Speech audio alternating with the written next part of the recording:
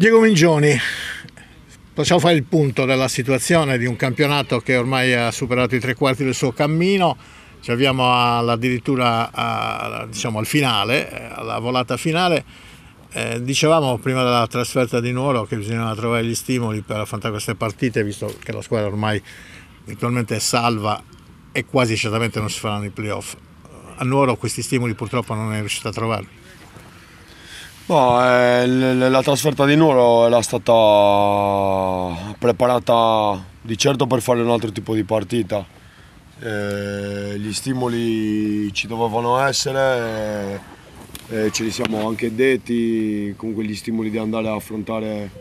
una società storica in Sardegna, in uno stadio che ha visto calcio e soprattutto per giocare una partita che che poteva, poteva farti fare un piccolo balzo in avanti in classifica, anche in vista comunque delle, delle, delle altre partite che si sarebbero giocate in contemporanea, come per esempio la partita Latte Dolce, che sapevamo che avrebbe giocato una partita contro la Villa Cidrese con degli squalificati e quindi anche in ottica di una possibile riapertura del discorso playoff, eh, sai, noi eh, ci siamo detti che sarebbe stato sicuramente eh, sarebbe stato sicuramente bello vincere la partita per poter ipotizzare una riapertura del discorso playoff. Poi la, la, la partita è andata in, un'altra direzione, in un altro senso, abbiamo completamente sbagliato la, il tipo di partita eh, rispetto ai presupposti iniziali, rispetto a, agli stimoli che ci dovevano essere. Quindi è stata una partita dove, dove secondo abbiamo fatto una delle più brutte prestazioni della stagione. Non parlo tanto della sconfitta, ma proprio come, come prestazione abbiamo fatto una, una, prestazione al di sotto sicuramente dei nostri standard, ma eh, sotto tutti i punti di vista, sia sotto il punto di vista della qualità, della, dell'atteggiamento, del, dell'agonismo, l'abbiamo persa veramente in tutti i sensi, quindi eh, dispiace perché comunque eh, io speravo di, che si potesse dare continuità alla parità di Bosa, così non è stato e quindi bisogna ulteriormente ripartire e riavvolgere il nastro. Ecco, rivolgere il nastro, forse una pausa di riflessione, eh, giunge a puntino? No, eh, la cosa sicura è che stiamo approfittando questa settimana per lavorare un pochettino più in una maniera più intensa, abbiamo fatto allenamento sia ieri sia oggi direi che sono stati due buoni allenamenti con buona intensità, con un buon impegno e poi comunque ne abbiamo approfittato anche per fare un po' il punto della situazione anche noi dentro lo spogliatoio, anche con i ragazzi, per capire quali potessero essere gli stimoli e comunque le riflessioni da fare da qui a fine campionato. Poi eh, la pausa è piccola e breve perché poi mercoledì andiamo a Budoni è una parità che già di per sé non dovrebbe dare, non, non c'è bisogno di, di, caricarlo, di dare eh, grossa spinta motivazionale perché chiaramente va a affrontare la prima, eh, la prima in classifica. Ma soprattutto c'è eh, la squadra, di, di, quel 14 gennaio. Chiaro, la squadra che ha vinto la Coppa Italia e quindi è una partita dove gli stimoli penso che siano abbastanza scontati e, e sentiti. Poi,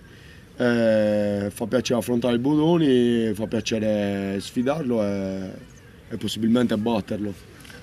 Eh, il Budoni che in casa è un rullo compressore, però dopo quel 14 gennaio al ritorno in campo l'ha persa una parte in casa con Calangiano, quindi non è imbattibile insomma. Ah, sì, ha perso la, la, prima partita subito dopo la Coppa, subito dopo tre giorni dalla vittoria della Coppa, ma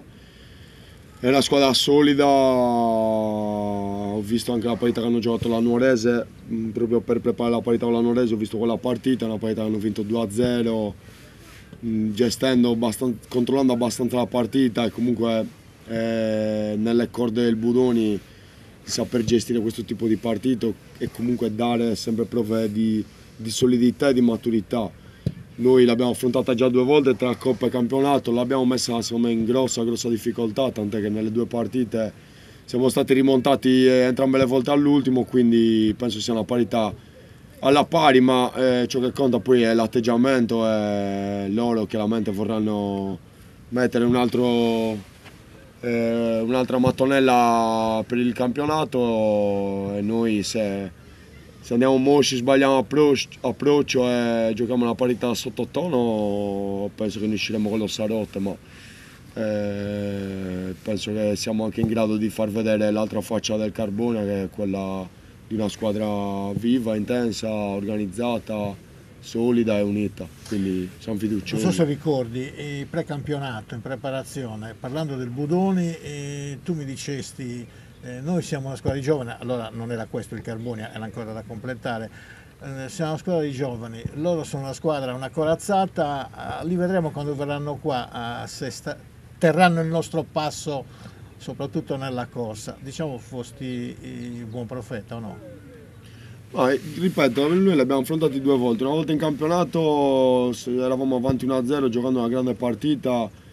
creandogli grosse difficoltà in grossi tratti della e partita. quella palla di Gabriele Dore al 96esimo eh, che ancora... Abbiamo preso gol su fallo laterale all'88esimo, abbiamo avuto una palla colossale per andare in vantaggio da uno all'ultimo secondo. Eh, la finale di Coppa è una partita che stavamo vincendo fino al 122esimo, quindi bene o male abbiamo dimostrato che, che sappiamo dargli fastidio, eh, anzi entrambe le volte la squadra forse che avrebbe meritato, che comunque era avanti anche nel punteggio fino all'ultimo, siamo stati noi. Poi eh, non ecco, abbiamo vinto, ma. Li avete messi in difficoltà grossa due volte. Avete eh, vinto con grande merito a Sassari, eh, diciamo qualche piccolo rammarico, perché è qualcosa in più che sarebbe potuto essere ancora questo campionato, che pur rimane con un bilancio positivo. Ma rammarico no, perché comunque io penso che siamo siamo questi, nel senso è una squadra giovane e nella sua giovane età eh, porta dentro dei pro e dei contro. Eh, il fatto che comunque nelle grandi partite hai sempre fatto grandi prestazioni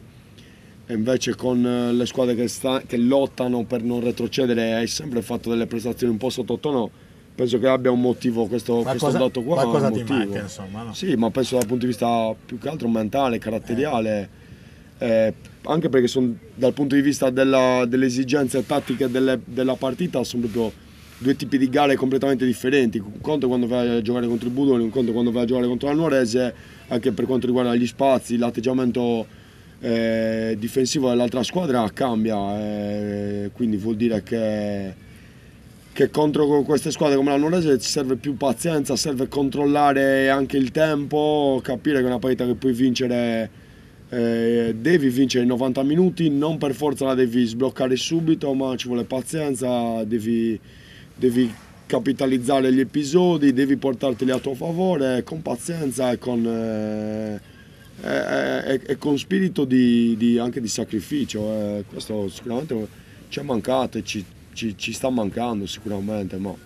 eh, poi va a affrontare, ripeto, le, le, altre squadre come Budonica, voi, eh, Latte Dolce, eh, San Teodoro eh, non, non, è, non, hai perso, cioè, contro queste squadre qua non hai perso, quindi siamo, siamo questi e dobbiamo crescere in questo, in questo senso qua. Diego, chi lo vince il campionato? Me il Latte Dolce, secondo me il Latte Dolce perché l'aver vinto la parità con la Villa Cidrese con tre, con tre squalificati sono tre giocatori importantissimi per il latte dolce penso sia stato un segnale, un grosso segnale. Eh, non è un caso che abbiamo vinto e non è un caso che ha vinto bene che, che penso che da, da, dalla sconfitta col Budoni eh, con eh, il fatto degli squalificati penso che possano uscire ancora più forti proprio come squadra, come unione e come stimoli probabilmente per il futuro quindi